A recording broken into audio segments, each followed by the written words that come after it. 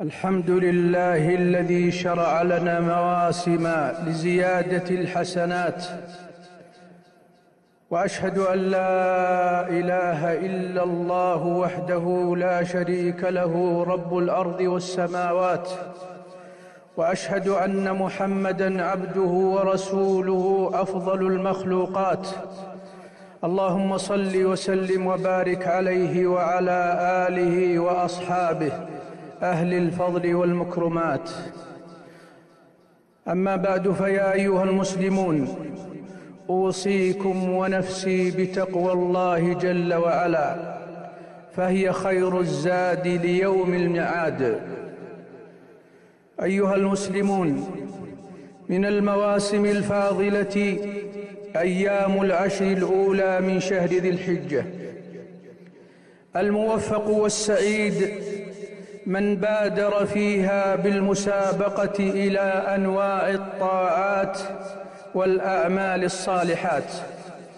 قال تعالى ليشهدوا منافع لهم ويذكروا اسم الله في أيام معلومات وهي أيام العشر كما قاله غير واحد من الصحابة رضي الله عنهم. وقد أقسم الله بها مما يدل على عظيم فضلها وشرفها. قال جل وعلا والفجر وليال عشر. والليال العشر هي عشر ذي الحجة كما هو مذهب جمهور المفسرين من السلف. فيا من يبتغي فيا من يبتغي الفلاح وينشد الخير والصلاح تاجد مع ربك تاجد مع ربك بالأعمال الصالحة. لا تفوت هذه الأيام الشريفة بل انتهزها وبادر فيها بالخيرات وإلى ما فيه عظيم الأجر وجزيل الفضل. عن ابن عباس رضي الله عنهما قال قال رسول الله صلى الله عليه وسلم ما من أيام العمل الصالح فيها أحب إلى الله من هذه الأيام. وفي رواية أفضل يعني أيام العشر. فقالوا يا رسول الله ولا الجهاد في سبيل الله؟ قال ولا الجهاد في سبيل الله. إلا رجل خرج بنفسه وماله ثم لم يرجع من ذلك بشيء. رواه البخاري واللفظ لأبي داود والترمذي. فهي يا عباد الله فرصة فرصة لا تعوض فاغتنمها أيها المسلم تقربا إلى مولاك زيادة في حسناتك وتكفيرا عن سيئاتك. في مسند الإمام أحمد بسند حسن عن ابن عمر رضي الله عنهما عن النبي صلى الله عليه وسلم أنه قال ما من ما من أيام أعظم ولا أحب إليه العمل فيهن عند الله من هذه الأيام العشر فأكثروا فيهن من التهليل والتكبير والتحميد. وروى جابر رضي الله عنه عن رسول الله صلى الله عليه وسلم أنه قال أفضل أيام الدنيا أيام العشر. وقد قال الذهبي إسناده حسن. ولهذا كان سلف هذه الأمة يجتهدون فيها أشد الاجتهاد لعلمهم بفضلها وشرفها. قال أبو عثمان النهدي رحمه الله كانوا يعظمون العشر الأخير من رمضان والعشر الأولى من ذي الحجة والعشر الأولى من محرم. وفي البخاري ذكر عن ابن عمر وأبي هريرة رضي الله عنهما أنهما كان يخرجان إلى السوق في أيام العشر ويكبران ويكبر الناس بتكبيرهما. يقول ميمون بن مهران يقول ميمون ابن مهران وهو من التابعين. أدركنا الناس وإنهم ليكبرون في الأشر. حتى إني لأشبهه بالأمواج من كثرته.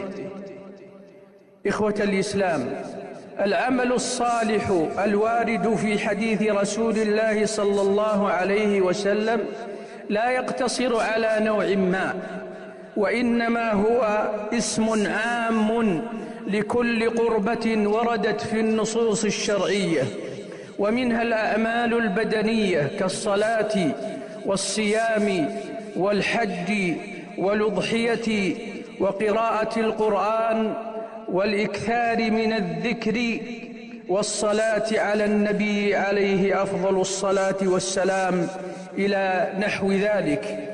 وتشمل أيضا الأعمال الصالحة المتعدي نفعها إلى المسلمين كالصدقة والإحسان إلى الناس وقضاء حوائجهم وإدخال السرور عليهم وإعانتهم والتيسير على مؤسرهم. وقد يكون العمل المتعدي كما في القاعدة أفضل من العمل القاصر. ومما ورد فيه الدليل الأكيد في هذه الأشر استحباب صيامها والإكثار من الذكر فيها. قال العلماء التكبير في هذه الأشر نوعان مطلق وهو في جميع الأشر ويلحق بها أيام التشريق ويكون ذلك المطلق في جميع الأوقات والأماكن مما يجوز فيه ذكر الله جل وعلا يجهر به ويرفع به صوته. الثاني المقيد الثاني المقيد بأدبار الصلوات المكتوبة. ويبدأ من فجر يوم عرفة لغير الحاج وللحاج من الظهر من يوم النحر وينتهي بعد عصر الثالث أيام التشريق. كل ذلك وارد عن الصحابة رضي الله عنهم وعن غيرهم من التابعين بآثار كثيرة. وصيغة التكبير الغالبة الله أكبر الله أكبر لا إله إلا الله والله أكبر الله أكبر ولله الحمد. أقول هذا القول وأستغفر الله لي ولكم ولسائر المسلمين من كل ذنب فاستغفروه إنه هو الغفور الرحيم.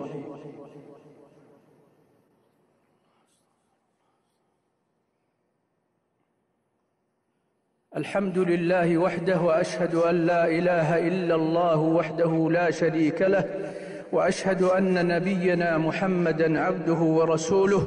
اللهم صل وسلم وبارك عليه وعلى آله وأصحابه. أما بعد فيا أيها المسلمون مما يشرع في هذه العشر في يوم النحر وما بعده من وقت النحر الأضحية. وإذا هل هلال ذي الحجة وأراد الإنسان أن يضحي فعليه أن يجتنب الأخذ من أظفاره أو شعره حتى يضحي. في حديث أم سلمة رضي الله عنها أن النبي صلى الله عليه وسلم قال إذا, أرى إذا رأيتم هلال ذي الحجة وأراد أحدكم أن يضحي فليمسك عن شعره وأظفاره رواه مسلم وغيره. وأظهر الأقوال في النهي أنه للتحريم. ولكن هذا خاص بمن يضحي لا بمن يضحى عنه من الأهل ونحوهم. ثم إن أفضل من أفضل الأعمال وأزكاها عند ربنا الصلاة والسلام والإكثار من ذلك على النبي صلى الله عليه وسلم. اللهم صل وسلم وبارك على نبينا ورسولنا محمد ما دارت الأفلاك والأجرام وما تتابعت السنوات والأيام. اللهم صل وسلم وبارك عليه. ما تعاقب ليل ونهار. اللهم ارض عن الصحابة أجمعين وعن التابعين ومن تبعهم بإحسان إلى يوم الدين. اللهم اغفر لنا وللمسلمين الأحياء منهم والميتين. اللهم اغفر لنا وللمسلمين الأحياء منهم والميتين. اللهم ارحمنا برحمتك. اللهم اشملنا جميعا برحمتك. اللهم ارحمنا رحمة تغنينا بها عمن سواك. اللهم فرج همومنا وهموم المسلمين.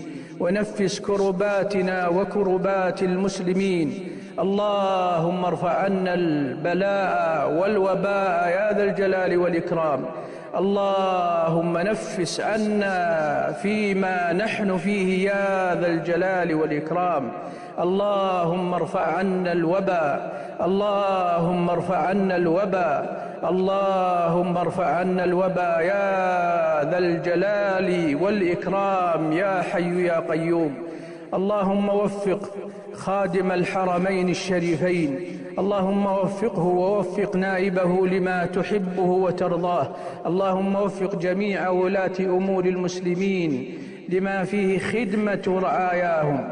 اللهم احقن دماء دماء المسلمين. اللهم احقن دماءهم وصن أعراضهم واحفظ أموالهم يا حي يا قيوم. اللهم اجمع كلمتهم على الحق. اللهم اجمع كلمتهم على الحق. اللهم إنا نعوذ بك من زوال نعمتك وتحول عافيتك وفجاءة نقمتك وجميع سخطك.